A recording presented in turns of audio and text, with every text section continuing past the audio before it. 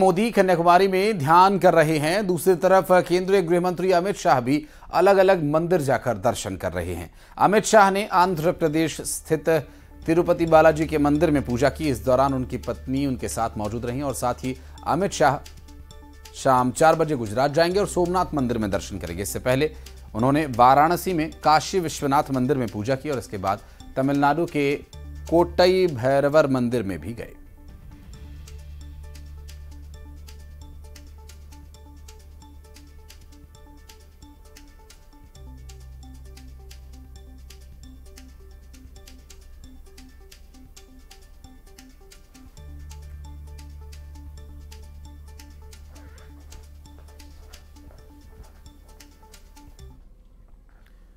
ग्रामीण क्षेत्र में व्याप्त दिक्कतों और पंचायत स्तर पर होने वाली राजनीति की बहुत सुंदर तस्वीर एक वेब सीरीज़ पंचायत में दिखाई गई। पहले और दूसरे सीज़न में इसे लोगों ने बहुत सराहा, बहुत पसंद किया। अब इसका तीसरा सीज़न, जो अब भयंकर तरीके से लोग देख रहे हैं और इसे बहुत पसंद भी कर रहे हैं और ये काफ़ी चर्चा में भी है।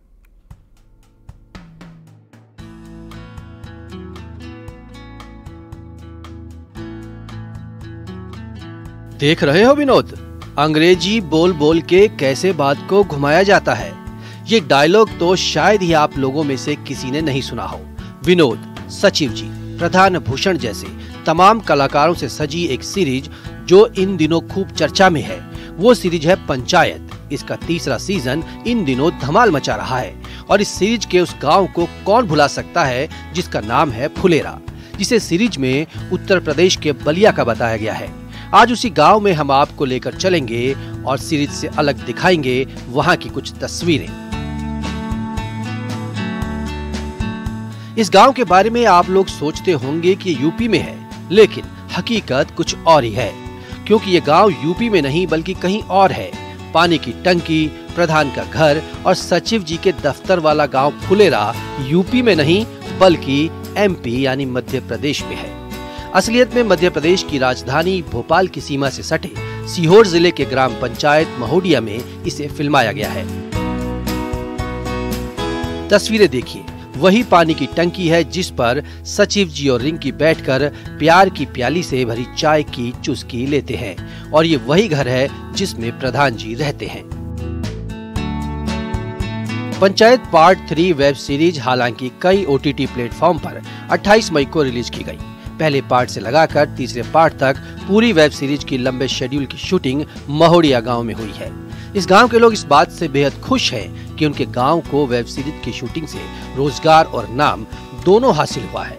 लेकिन अफसोस इस बात का है कि स्क्रीन पर गाँव को यूपी के बलिया ज़िले की फुलेरा ग्राम पंचायत बताया जा रहा है। ये तीसरा अभी रिलीज़ होगा। और तीनों पार्ट हमारे यहीं पे बने मोहड़िया में। ये मेरे घर पे बना है, मेरा घर जो बताया वो प्रधान का बताया है, और पंचायत बनी है, पंचायत भवन में। और कुछ गाँव में भी है थोड़ा थोड़ा सीन, और इस पार्ट में जो तीसरा जो पार्ट बन रहा है, उसमें विधायक जी का रोल बताया है, उसमें सीओर का अपने, सीवर का बताया है। मंत्री पेट्रोल सामने जो बाग है, उसमें एक बंगला है, उसको बताया है विधायक जी का। बाकी पूरा मोहड़ियम बनी, और मोहड़िया में जब वो लोग आते हैं बनाने तो हमें बहुत अच्छा लगता है। यहाँ पे गाँव पे गाँव की रौनक बढ़ जाती है। गाँव में विकास भी करवाते हैं। यदि गाँव के लोग पाँच लोग चल जाते हैं कि साहब हमें ये काम चाहिए गाँव में छोटा मोटा तो वो करवा देते हैं। नीना गुप्ता और राजपाल यादव के साथ नए कलाकारों ने गजब का काम किया है। पूरी वेब सीरीज़ बांधे रखती है। हर पल ऐसा लगता है कि तो कहानी हमारे जीवन के इर्द गिर्द बुनी गई है। गाँव की हर एक तस्वीर को सामने रखती है भले ही महोड़िया गाँव को सीरीज़ में फुलेरा नाम दिया गया है, लेकिन इससे यहाँ के ग्रामीण खासे खुश नज़र आए। अब सीरीज़ के साथ साथ गाँव को भी लोग पहचानने लगे हैं। सीहोर से न्यूज़ 18 के लिए प्रदीप एस चौहान की रिपोर्ट। खंडवा में 200 करोड़ रुपए की लागत से तीन साल पहले मेडिकल कॉलेज और जिला अस्पताल की नई बिल्डिंग का निर्माण कराया गया, लेकिन यहाँ आग बुझाने के पर्याप्त साधन नहीं है। गुजरात के राजकोट और दिल्ली में हुए अग्निकांड के बाद न्यूज़ एटीन की टीम ने खंडवा के अस्पतालों का जायजा लिया।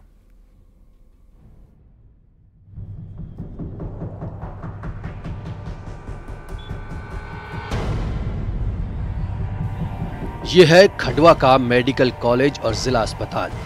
200 करोड़ की लागत से बनी शानदार इमारत, चमचमाती बिल्डिंग और भीतर से दूधिया रोशनी में नहाई चमचमाती व्यवस्था।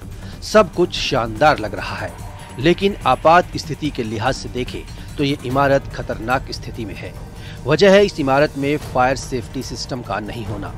गुजरात के राजकोट और दिल्ली के बेबी केयर अस्पताल में लगी आग के बाद न्यूज़ 18 की टीम ने इस अस्पताल के फायर सेफ्टी सिस्टम का जायजा लिया। इस दौरान पता चला कि बिल्डिंग में फायर अलार्म, स्प्रिंकलर और नोजल पंप बंद हैं। आग लगने की स्थिति में फायर एग्जिट प्लान भी नहीं है। जिला हॉस्पिटल में निरीक्षण किया गया फायर सेफ्टी की दृष्टि को देखते हुए। तो वहाँ पर जो भी कमियाँ पाई गई है, उससे सिविल सर्जन, सर को और वहाँ के स्टाफ को, प्रबंधक को अवगत करा दिया गया और आगे की रिपोर्ट, आगे की कार्रवाई के लिए आयुक्त सर को रिपोर्ट दे दी गई है।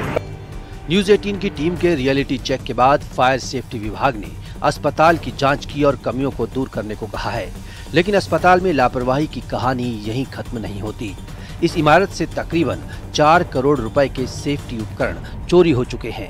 तीन साल पहले बनी इस इमारत से पिछले दो सालों में उपकरणों के चोरी होने का सिलसिला लगातार जारी है। उससे बड़ी लापरवाही ये है कि मेडिकल कॉलेज ने आज तक फायर एनओसी भी नहीं लिया है। टीम आई थी तो यहाँ पे जो मेडिकल कॉलेज के जो फायर फाइटर, वो फायर के लिए जो इंस्ट्रूमेंट लगाए, उसमें से कुछ इंस्ट्रूमेंट चोरी हो गए हैं। डीन साहब ने उसको संज्ञान में लिया है और शीघ्र ही वो कह रहे हैं कि नए खरीद कर उनको लगाया पुरानी बिल्डिंग में, क्योंकि ये इंस्ट्रूमेंट नहीं लगे थे, पुरानी बिल्डिंग है। हम लोग उसी से सिलेंडर से ही उसका करते हैं और वो हमने चेक करा लिए हैं। सभी अंडर एक्सपायरी हैं और भरे हुए हैं। न्यूज़ 18 की टीम के अस्पताल में रियलिटी चेक में खामियाँ उजागर होने के बाद खंडवा नगर निगम का अमला भी एक्टिव हुआ। निगम ने मेडिकल कॉलेज और जिला अस्पताल समेत तमाम सरकारी, गैर सरकारी इमारतों में फायर सेफ्टी की खामियाँ 15 दिन में दुरुस्त करने के निर्देश दिए हैं। हाँ डिस्ट्रिक्ट हॉस्पिटल में भी कुछ कमियाँ पाई गई थी तो ये कमियाँ मुख्य रूप से जो जो ओ एन से संबंधित थी, क्योंकि फायर सिस्टम लगाया गया था नई बिल्डिंग में, लेकिन उसमें कुछ फायर सिस्टम कम थे वहाँ पे, फायर एक्सटिंग्विशर कम थे, और साथ ही जो उनका नोजल वगैरह है, वो नहीं थे उन जगहों पर तो उसके लिए उन्हें निर्देशित किया गया है। गुजरात के गेमिंग जोन और दिल्ली के बेबी केयर यूनिट में आग के बाद देश भर में फायर सेफ्टी ऑडिट किया जा रहा है। खंडवा में भी नगर निगम ये ऑडिट करा रहा है और इस ऑडिट में खंडवा का मेडिकल कॉलेज सह जिला अस्पताल फेल नज़र आया है। जब टीम यहाँ पहुँची और फायर ऑडिट किया तो उन्होंने पाया कि यहाँ के कई संसाधन ऐसे हैं जो या तो बंद है या खराब स्थिति में हैं। अमित जायसवाल न्यूज़ 18 खंडवा।